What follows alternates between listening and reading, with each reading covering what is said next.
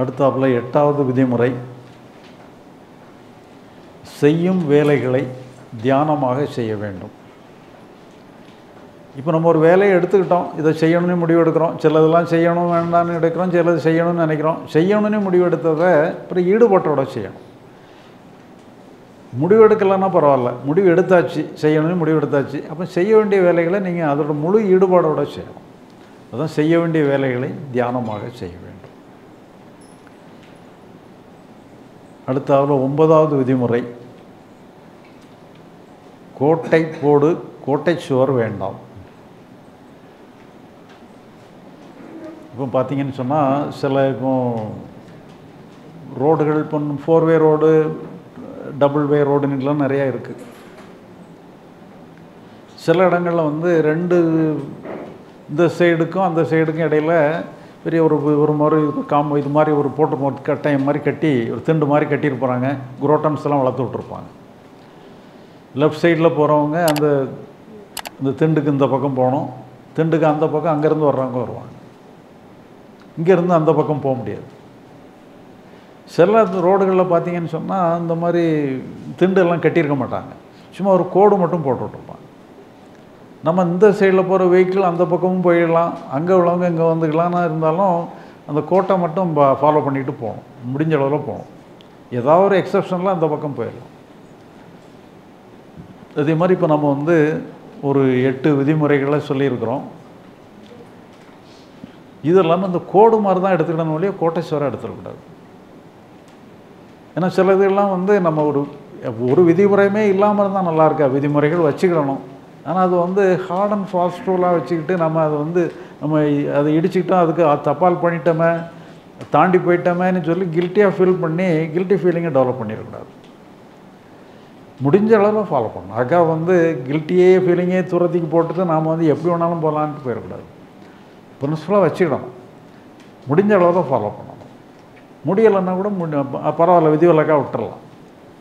அதனால் maximum follow பண்ணுற மாதிரி எடுத்துக்கிறோம் அதனால தான் வந்து கோடாக போட்டுக்கிடணும் கோட்டை சுவர் வேண்டாம்ங்கிற மாதிரி. இப்போ இதெல்லாம் வந்து நம்முடைய பர்சனல் லைஃபுக்காக சம்மந்தப்பட்டது. இந்த ஒம்பது விதிமுறைகளும். இந்த பத்தாவது விதிமுறை தான் என்னன்னு சொல்லி சொன்னால் இது வந்து சமுதாய லெவலில் உள்ள ஒரு விதிமுறை. எல்லாருக்காகவும் இது நம்ம வந்து கருத்தளவில் நம்ம அங்கீகாரம் பண்ணால் போதும். செயலளவில் நம்ம பண்ணுறதுக்கு நம்மளால் முடியாது. கருத்தளவில் தான் அங்கீகாரம் கொடுக்க முடியும். Hand over the compound wall ங்கிறது தான் பத்தாவது விதிமுறை இப்போ அந்த காலத்தில் இந்த புராண காலங்களில் ஒரு சம்பவம். இந்த மகாபாரத போர் நடக்குது. மகாபாரத போர் நடந்த உடனே போரில் இவர் தர்மன் கௌரவர்கள் பாண்டவர்கள் இவங்களெல்லாம் வந்து பாண்டவர்கள் வெற்றி பெறுறாங்க. தர்மனுக்கு முட்டா பட்டாபிஷேகம் கட்டுறாங்க. இப்போ தர்மன் என்ன பண்ணுறான்னு சொன்னால் ரொம்ப மகிழ்ச்சி அடைஞ்சு எல்லாருக்கும் தான தர்மங்கள். இவன் அளவுக்கு யாருமே தான தர்மம் பண்ணலைன்னு சொல்கிற அளவுக்கு தான தர்மங்கள் பண்ணுறான் எல்லாருக்கும் வாரி வழங்குறான். சொல்லி அவனுக்கே ஒரு திருப்தி வந்துடுது நாம் யாரும் பண்ணாத ஒரு தான தர்மத்தை பண்ணிட்டோங்கிற ஒரு எண்ணம் அவனுக்கு ஏற்படுது. அப்போ கிருஷ்ணருக்கும் அது தெருது. அவனோட ஒரு ஒரு கர்வத்தோடு இருக்கிறான். நிறைய தானம் வழங்கிட்டேங்கிற கர்வத்தோடு இருக்கிறாங்கிற மாதிரி ஒரு ஒரு எண்ணம் தோணுது. அப்போ அவர் அந்த தர்மனை கூட்டிகிட்டு நாம் வந்து இந்த பாதாள லோகத்தில் வந்து மகாபலி சக்கரவர்த்தின்ட்டு ஒருத்தர் ஆட்சி புரிகிறார் பாதாள லோகத்தில். இதெல்லாம் கதைகள்.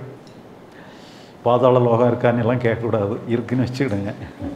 மகாபலி சக்கரவர்த்தின்ட்டு ஒருத்தர் ஆட்சி புரிகிறாரு அப்போ அங்கே போகிறாங்க ரெண்டு பேருமே சேர்ந்து போகிறாங்க கிருஷ்ணரும் தர்மரும் போகிறாங்க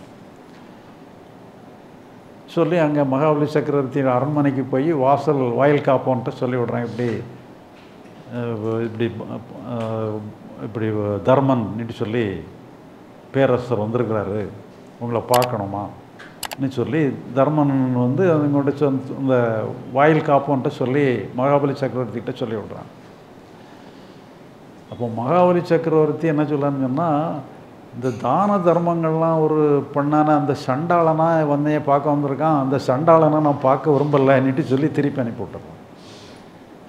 அப்போ இவனுக்கு ஒரே ஷாக் ஆயிடுது. என்னடா தான தர்மம் பண்ணவனே சண்டாளன்னு சொல்கிறானே அப்போ இவன் தான தர்மத்துக்கே விரோதமான ஒரு பாம்புல திருத சரி அவனை நாமளும் பார்க்க வேண்டாம்னு சொல்லி சரின்னு சொல்லி ரெண்டு பேரும் திரும்பிடுறாங்க. போயிட்டு இருக்கும் பொழுது சொன்னால் அவங்களுக்கு தண்ணி தாகமாக இருக்குது அப்போ ஒரு வீட்டில் இறங்கி ஒரு வீட்டில் ஒரு தண்ணி கேட்குறாங்க. அப்போ ஒரு அம்மா வந்து தங்க செம்பில் தண்ணி ரெண்டு பேருக்குமே தண்ணி கொடுக்குறாங்க இவர் என்ன பண்ணுறாருங்கன்னா அந்த தண்ணியை குடிச்சிட்டு அந்த செம்பை திருப்பி கொடுக்குறாரு. உடனே அந்த அம்மா என்ன பண்ணுச்சுன்னா அந்த தங்க செம்பை தூக்கி தூர வீசிடுது உடனே தர்மன் கேட்குறாரு என்னம்மா செம்பு சாதாரண செம்புலேயே தங்க செம்புல? சாதாரண செம்புனால தூக்கி வீசலாம் தங்க செம்பு தூக்கி வீசலாமா? உங்களுக்கு வேண்டான்னு சொன்னால் யாருக்காவது தானமாக கொடுத்துடலாமேன்னு சொல்லி தர்மன் சொல்கிறாரு அப்போ அந்த அம்மா சொல்லுது இப்படி தர்மன் ஒரு சண்டாளன் ஆட்சி பண்ணுறாமா அவன் நாட்டில் தான் தான தர்மங்களாக நடந்துக்கிட்டு இருக்கான். இப்போ எங்கள் நாட்டில் எந்த பிரச்சனையும் கிடையாது. யாரும் யாருக்கும் கொடுக்க முடியாது. யாரும் வாங்கவும் மாட்டாங்க. எல்லாருமே சௌரியமாக இருக்கிறோம். சொல்லி அந்த அம்மா சொல்லிடுது. அப்போ பார்த்தான்னு சொன்னால் இப்போ இதெல்லாம் ஒரு ஒரு ஒரு இதுக்காக சொல்கிறது இப்போ இதெல்லாம் என்னன்னு சொல்லி சொன்னால் இந்த மாதிரி ஒரு இப்போ ஒரு இதில் பார்த்தீங்கன்னு சொன்னால் யார் யாருடைய பொருளை அபகரிக்கலாங்கிற மாதிரி ஒரு சூழ்நிலையில் தான் நாடுகள் அம்சங்கள் எல்லாமே இருந்துகிட்ருக்கு ஒரு சமுதாயம் நல்லா இருக்கிற மாதிரி நிலமையில இல்லை.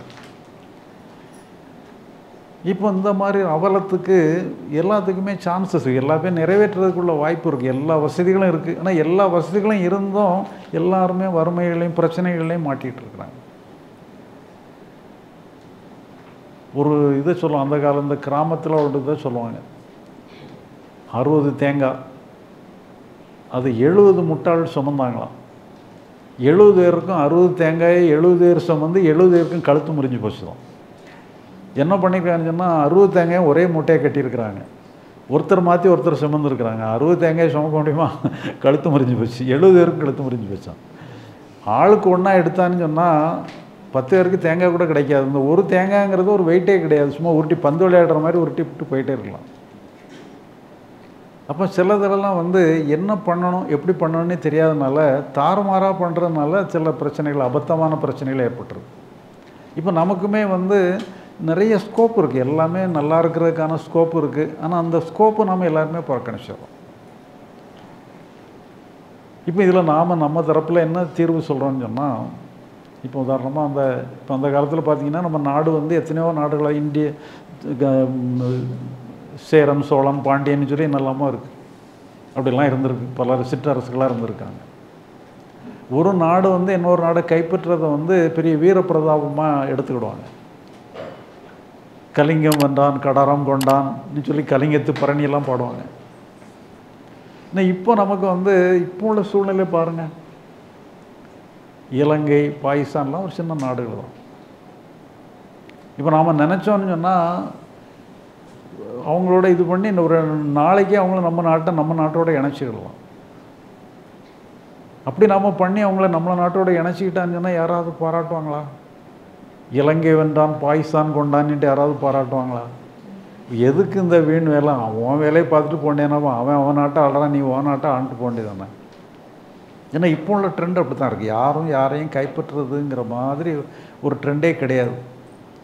ஆனால் இருந்தாலும் அந்த பழைய மோகத்தில் என்ன பண்ணுறாங்கன்னு சொல்லி சொன்னால் இந்த எல்லைகளை போட்டு வச்சுக்கிட்டு இந்த எல்லை கோடுகளை எல்லை காம்பவுண்டு சோர்னி போட்டு வச்சுக்கிட்டு அது பக்கத்தில் இராணுவத்தை குவிக்கிறதும் ஒரு பக்கம் இராணுவம் வச்சோன்னா இப்போ அடுத்த பக்கம் இன்னொரு இராணுவத்தை குவிக்கிறது.